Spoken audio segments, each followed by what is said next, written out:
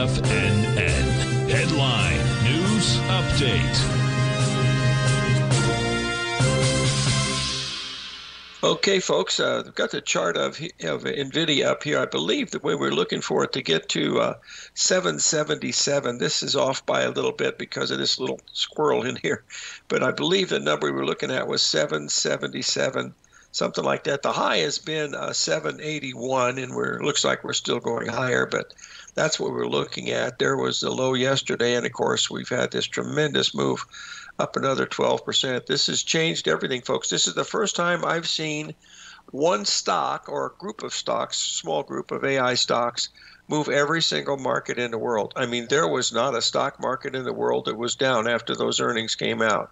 It looked like the Messiah had finally arrived, and but anyway, that's what uh, that's what's going on right now here with the market. We're having a very strong run here this morning. Now, I do want to uh, since we have you on for the break here, I want to show you the long-term weekly price objective here.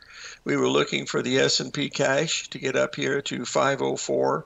We're now trading at 505.86 and it looks like there's nothing stopping it. But this is a, this is how markets end, folks. They don't begin here, they end here. But how much higher they're going to go, anybody's guess. We've made have not made new highs yet in the Nasdaq, which was quite surprising, but we're close. We're not very far away uh, with the Nasdaq. I believe we could show that here without too much trouble. You'd be able to see here that we've uh, came very very close. I thought it was going to be stopping here, but it just went through it like it didn't even exist. Uh, we're still going higher. Here was the big gap up that we had.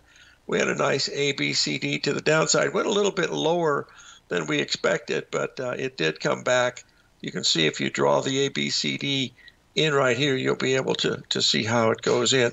We had an order, of course, to sell the S&P after that report came out in not the S&P but the Dow Jones. It was filled and it lost its uh, uh, 100 points just very very fast and uh, luckily it was trading very nicely though so it didn't there was no gaps or anything. We got a nice fill going up. It backed off about a half a point three quarters of a point in the dow.